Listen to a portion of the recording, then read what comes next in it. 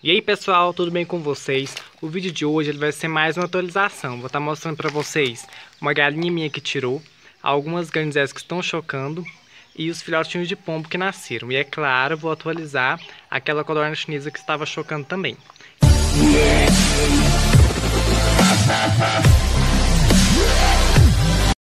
Essa daqui é a galinha que estava chocando os ovos de garnizé da preta de topete e da frisada branca de topete.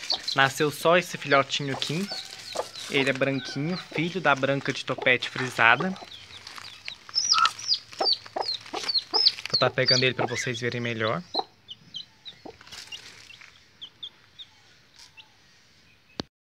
Como vocês podem ver, ele não tem topete. E o frisado dele é pouco, quase nada. É branquinho, assim como a mãe dele e nanico. As perninhas são bem pequenininhas.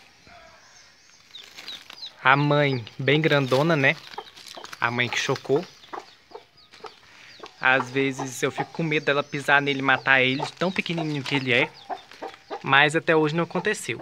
E eu espero que não aconteça.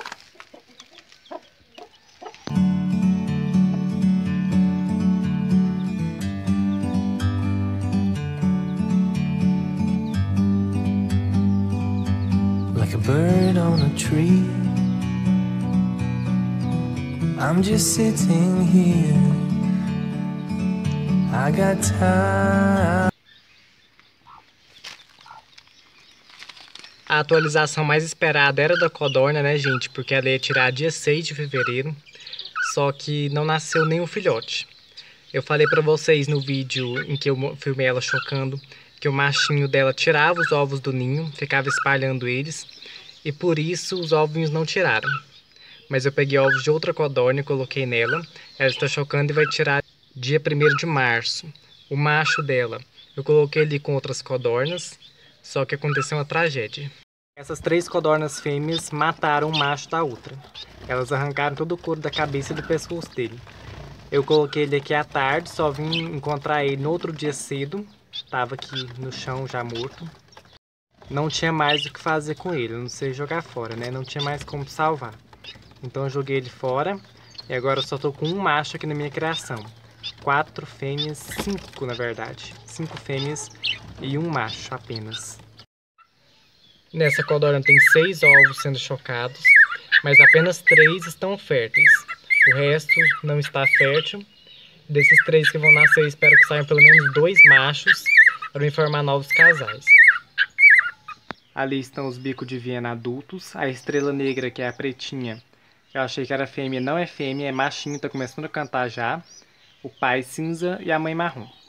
E aqui estão os filhotinhos, novos filhotinhos desse casal.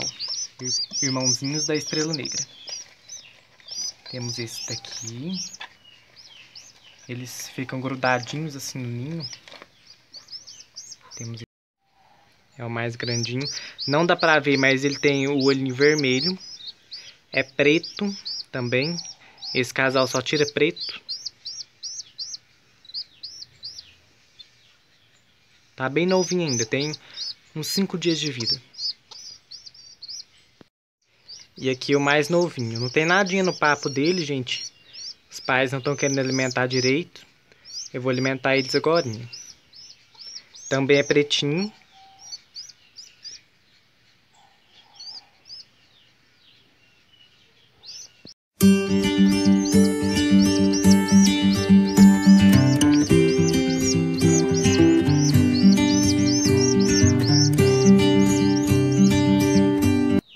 Aqui a garnizé preta de topete, tá chocando ovos dela, da frisada branca de topete e também da sura. Todas com polonesinho, que é o macho sapateiro de barba e topete.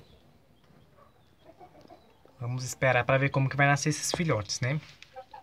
Aquele filhotinho que eu mostrei lá com a galinha, ele é filho da frisada branca de tupete com o macho Nagasaki. E agora estou ansioso para ver como que vai nascer com o macho modelado. Não sei quantos ovos essa daqui tem. Vou estar tá olhando aqui agora. Um, dois, três, quatro, cinco, seis, sete. Sete ovos. Vou deixar ela chocar. Dia primeiro ela tira. Pessoal, esse foi o vídeo de hoje. Eu espero que vocês tenham gostado. E até o próximo.